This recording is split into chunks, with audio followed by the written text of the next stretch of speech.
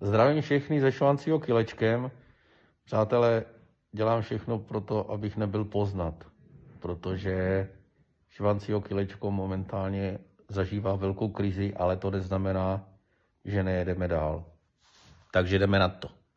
Přátelé, Teplice Budějovice jedna, Bohemka Olomouc jedna a pozor, z druhé ligy jsem si vybral Třinec hlava jedna.